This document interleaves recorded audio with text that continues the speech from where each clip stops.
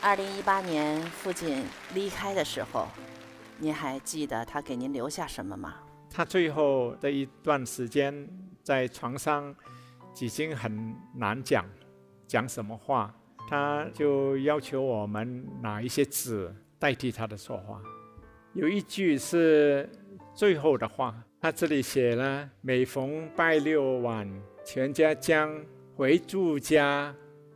做全家聚会，以表亲情自盼。哦，父亲到最后，他都非常重视家庭和谐，这个也是对我们下一代的教育。现在您还有什么计划吗？在做哪些项目？二零一零年的时候，父亲就决定把家族这个基金会，嗯。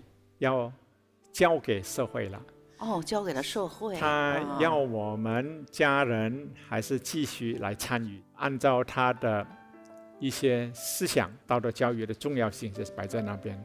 还有呢，我们所做的工作，让教育可以能够结合世界的文明，嗯，让我们的校长、老师可以走出去，嗯，让他们开眼界。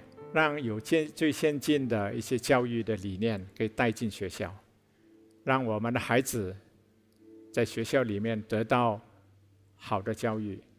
您是真正读懂了父亲，而且能够把田先生这份心愿呀，继续让它延续下去。